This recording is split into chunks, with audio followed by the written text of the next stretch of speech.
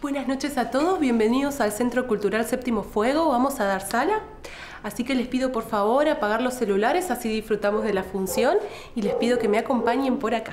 Muchas gracias. No, que voy a pedir permiso. Me cierran el teatro, voy a pedir permiso. Bueno, hagamos una cosa. Yo me encadeno al arbolito que está ahí en la puerta. Y ustedes hacen la función. Si viene la cana a reprimir, a echarlos, ustedes se van. Yo me quedo estando atada, no me van a sacar de ahí. No, no, para mí el teatro de mesa, y también lo dijo Stanislavski, aunque no tan fuerte como yo, el teatro de mesa es una cosa muy pelotuda. Acá estamos en la planta de- del Molino Osiris. Eh, somos trabajadores de, de- de esta planta que dejó de funcionar hace un tiempo importante, cuatro o cinco meses. Cuando anda, al- algo anda mal, ya otro ruido se escucha, otro ruido, ahí ya miramos qué, qué pasa. ¿Y ahora? Ah, silencio. Silencio.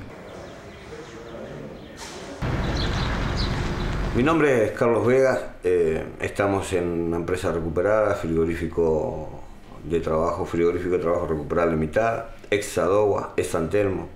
En esta empresa supieron trabajar 1.200 operarios.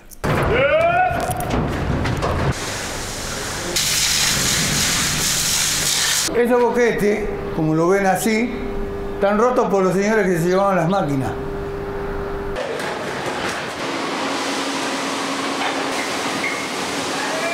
¿Quién se la llevó?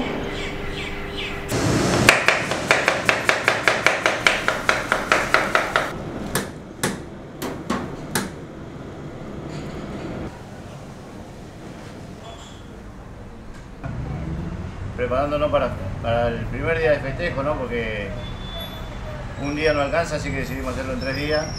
El primer día de festejo de nuestro segundo aniversario como autogestión. Soy delegado de los trabajadores de Cerámica Nauquén, este, ubicada justamente en Nauquén Capital.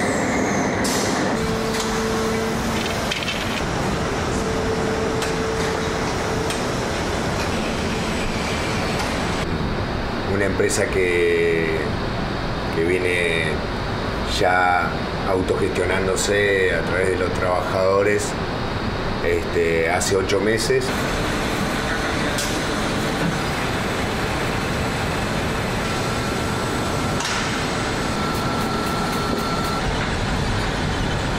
después de, una, enorme lucha que, se viene dando para no solamente por defender los puestos de trabajo, sino contra, contra lo que fue la patronal en su momento.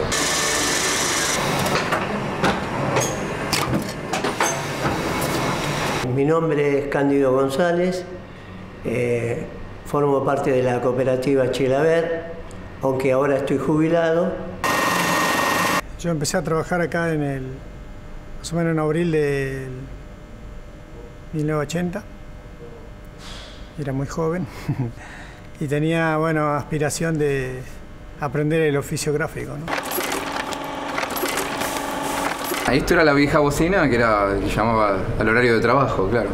Sonaba esto y bueno, era trabajar, era una tortura.